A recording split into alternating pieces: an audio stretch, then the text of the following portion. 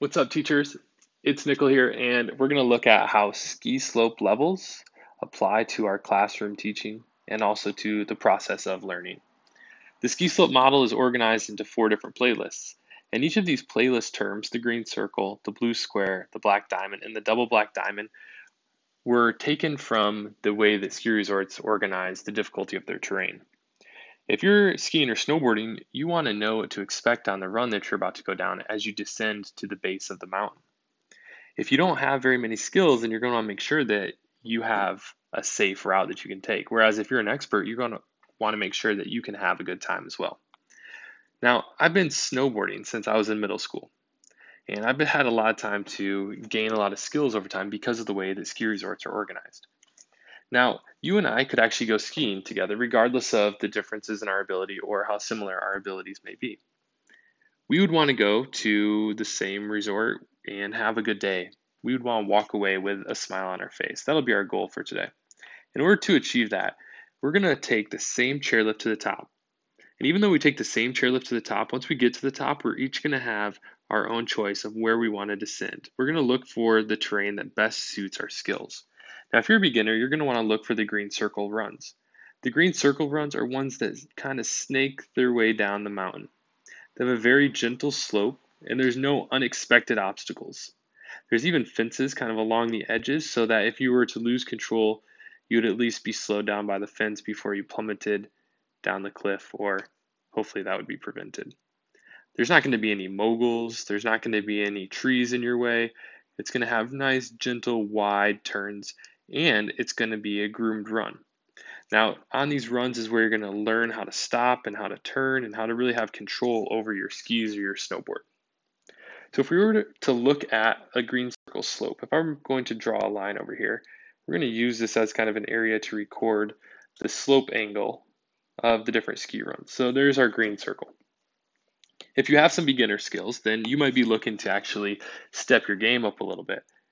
If you are, then you're going to shoot for the blue square types of runs. Now, blue square runs are for intermediates, people who know how to turn a little bit, that you've got the turns down and you can uh, control your speed and you're, you're able to stop and have control. So these blue square runs are ones that go more directly down the mountain. They're definitely a steeper slope. There might be a few unexpected obstacles, like there might be some rolling hills where the slope changes. There might be some widely spaced trees where you have to navigate around those. And in this area, you're going to have to really use steady turns and you're going to have to be able to have really solid stopping ability as well. There might be some fences, but there's not going to be many things here to help keep you on the trail. Um, and it's only sometimes groomed. So there might be some areas that are nice and smooth, but some areas might be ungroomed and have more natural obstacles. Once you're able to make it down a blue square run, then you could step your game up further and you could actually shoot for a black diamond run. And the black diamond runs are for experts. This is expert or advanced terrain. Now, the black diamond are going to have much steeper slopes. They might go right along the steepest parts of the mountain.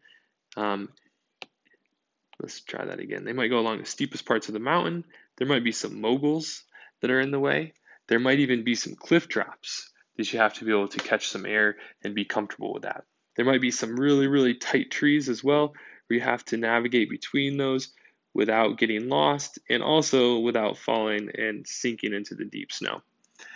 There's not any fences, and these black diamonds are rarely groomed runs. Now, all of these runs are going to take us back to the bottom of our mountain, and hopefully we all get down with a smile on our face. But that's only going to happen if we're able to actually challenge ourselves. Somebody who has green circle abilities that just steps onto a black diamond run may find themselves tumbling and really in pain as they descend that run, or at least try to. They'll probably end up having to get a hold of ski patrol or even end up on their butt, scooting their way down. And that's because black diamonds require skills that are built on in the green circle and in the blue square runs. So somebody with green circle abilities can't just jump ahead they have to first master the green circle to be able to get onto the blue square runs, and then master the blue square runs to get onto the black diamond runs. Now, black diamond are the advanced, but there's actually one more level of um, types of terrain at a ski resort, and that is going to be the double black diamond terrain. Now, the double black diamond terrain is the extreme terrain. It might be something where you actually have to hike to some other area and you're able to ski or snowboard down some really, really steep terrain. It could even be where you start at the top and you go into a terrain park where you get air and you're working on your flips and twists.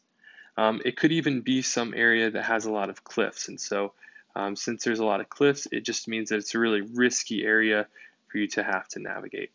So, the double black diamond is going to be the extreme terrain. That's going to be where um, you're going to have the most technical terrain, and there's going to be a lot of natural obstacles, or it's going to be a terrain park. But it's really the place where people go in order to engage in like a really big risk. So let's get back to our slopes over here on the left side. So we've got our green circle, and if I were to show the blue square slope, it's going to be a little bit steeper. The black diamond is going to be even steeper than the blue square. And the double black diamond will typically be even more steep, or it's just going to have the unexpected obstacles in there.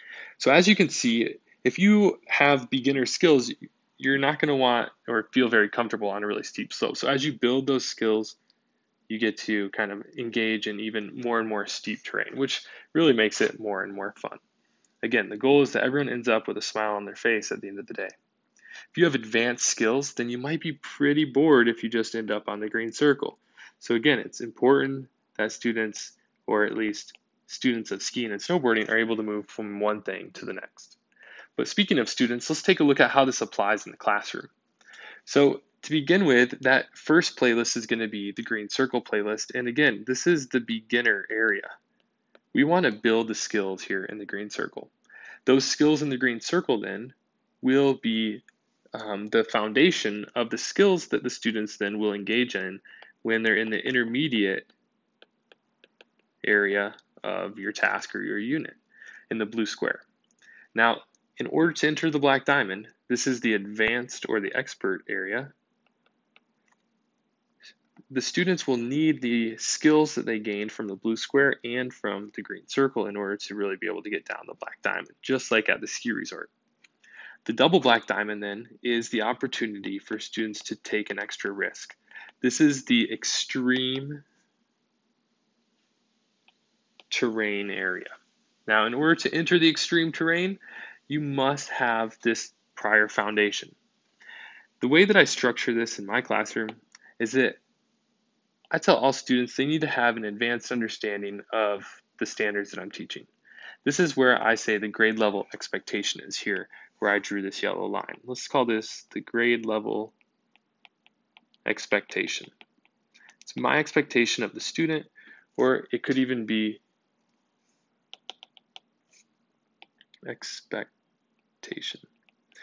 or it could even be related to the standard. So if a student gets through the black diamond, then they are actually accomplishing the standard or the grade level expectation. A student, though, that does the double black diamond is going above that grade level expectation and taking an extra risk to demonstrate their skills here on the topic. So I hope that you can see how this analogy can be used um, by us in the classroom and how it also relates to the ski resorts and how this combination creates a perfect framework to organize learning in our classrooms. That's all for now. I'll catch you in the next video.